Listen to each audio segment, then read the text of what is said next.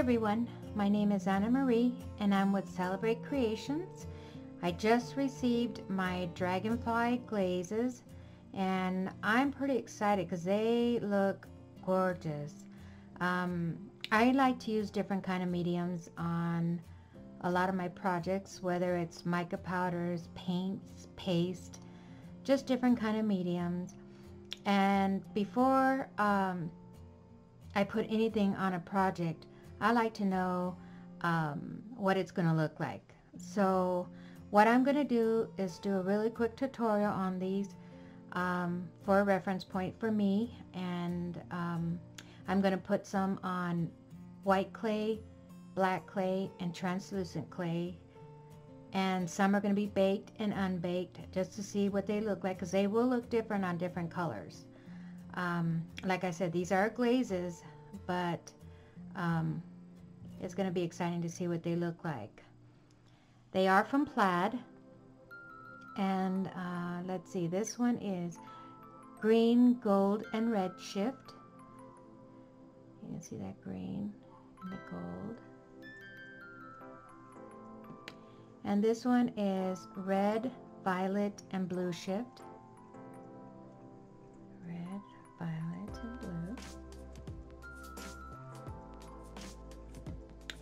And this one is gold, red, and violet shift. There you go, gold, red. Mm-hmm. This one is blue, green, and gold shift. Yeah, you can see those colors are actually stunning.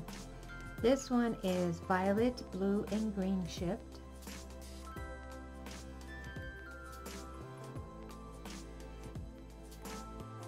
And this one is the mother of all ships.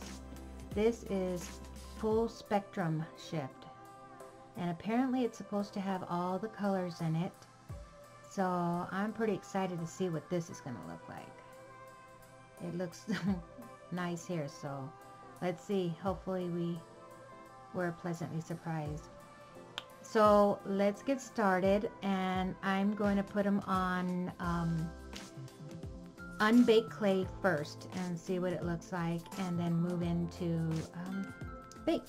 So let's get started.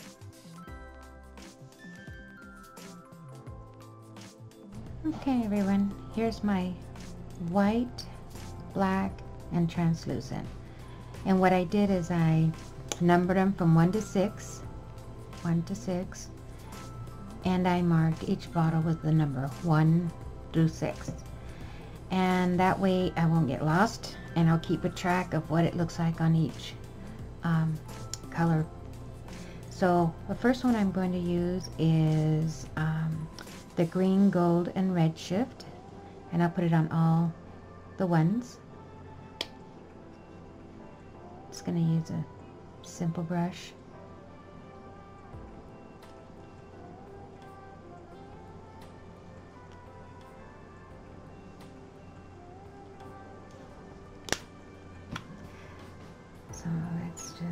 This around.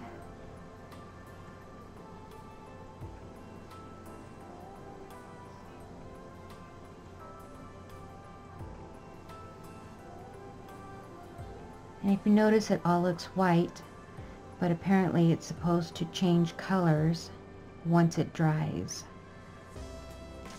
I put a very simple pattern on just so I can see um, what it would look like.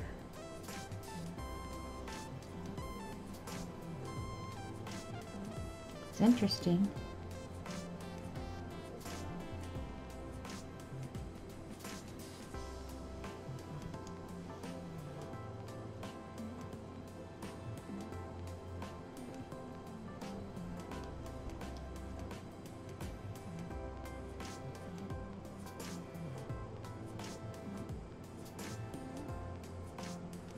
Okay, well, I'm going to move on and put all the other colors on, matching colors, matching numbers, and see what happens.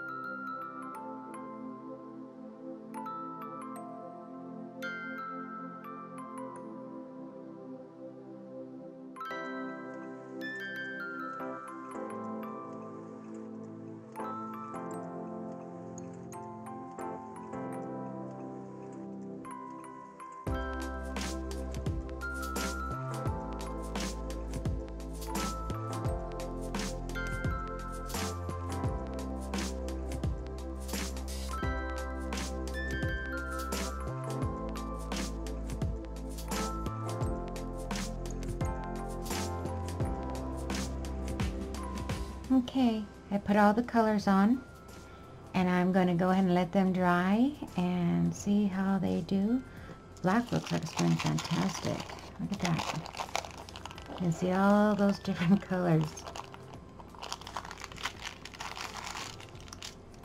The white's not so much, but I'm sure a couple of colors, a couple of, better see.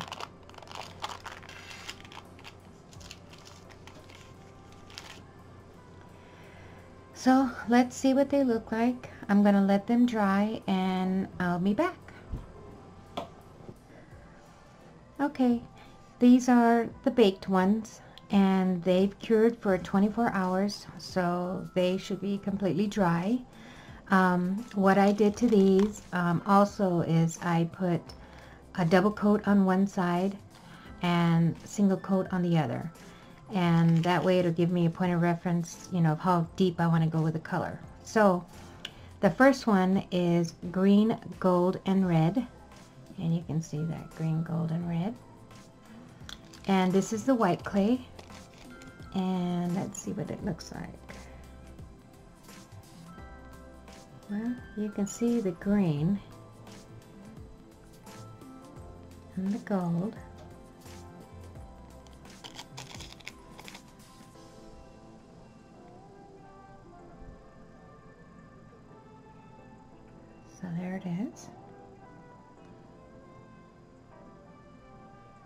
Depending how intense you want, you want to do that coat, but actually looks okay with the single coat on that, on the white. This is a translucent. And this one picked up a little bit more color. You can see the red in that, and the green and the gold.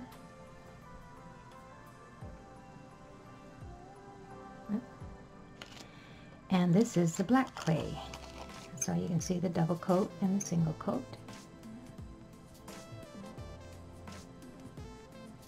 Mm-hmm.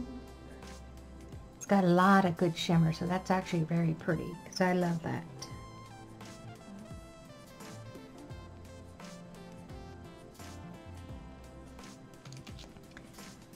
And that's number one. Okay, this is number two. This one is the gold, red, and violet. You see that violet, the gold, and the red in there. Here's the white. See if I can get that shimmer in there. There we go.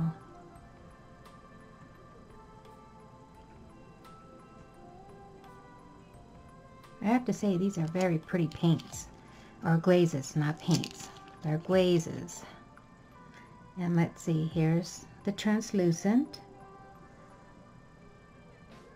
And you're getting the gold and very subtle red and very subtle violet. And the black. And again, this has gorgeous shimmer. Gorgeous. And like I did say earlier, I noticed that on the first one and the second, colors almost look alike. They're just a hair off, but they do look alike. So, here's number three. This one is the red, violet, and blue See that red, the violet, and the blue. There it is. And here's the white. And you can see very little shifting, but it's there. It is there.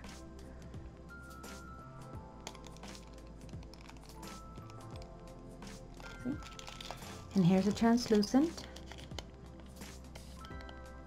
This one's got a little bit more shifting in it than the white. And here is the black. which I find all these colors do better on the darker clay. So that's nice to know because I do use a lot of black. That's beautiful.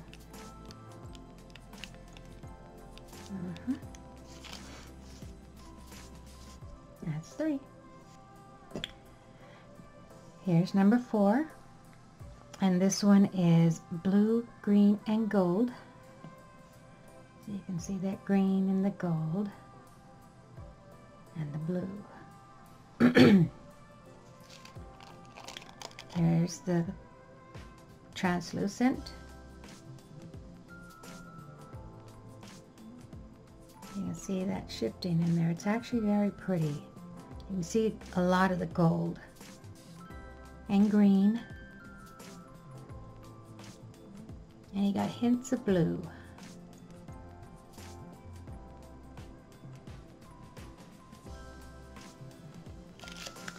And here's the white.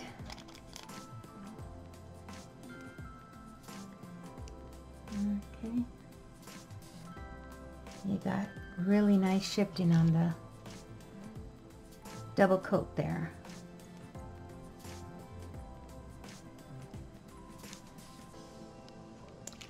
And here is the dark black clay.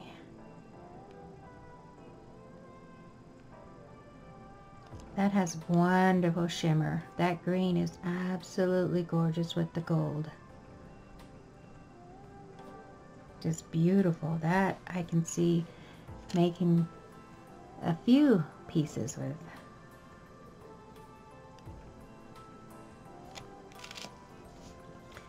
So that's, here's number five. And this one is violet, blue, and green. You see that? And here's the white. And this one, you can see the blue shifting and the violet. And you got hints of green. Hints of green.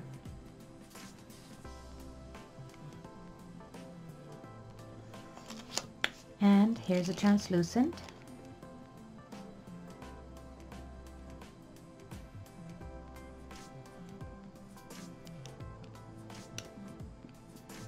I just love the way these things shimmer. Just, I love a lot of glitter.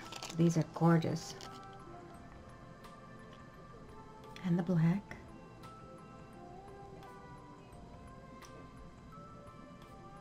And I'm just amazed how different they look. On the same glazes, but on different colors of clay. It's amazing how different they look.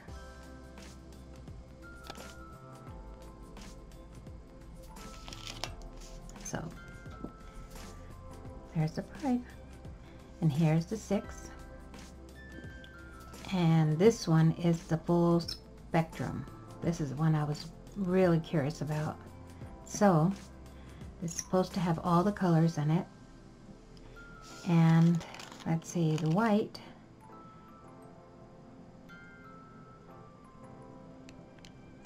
See if I can get this.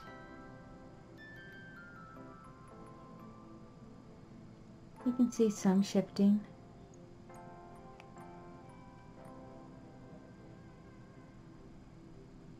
A little bit of shifting there.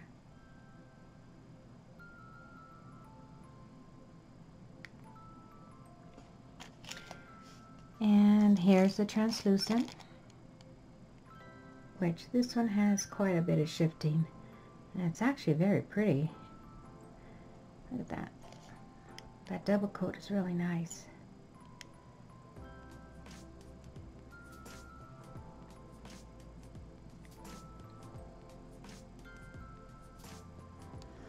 And here is the black. And this one I am so excited about. Look at that. It's just stunning.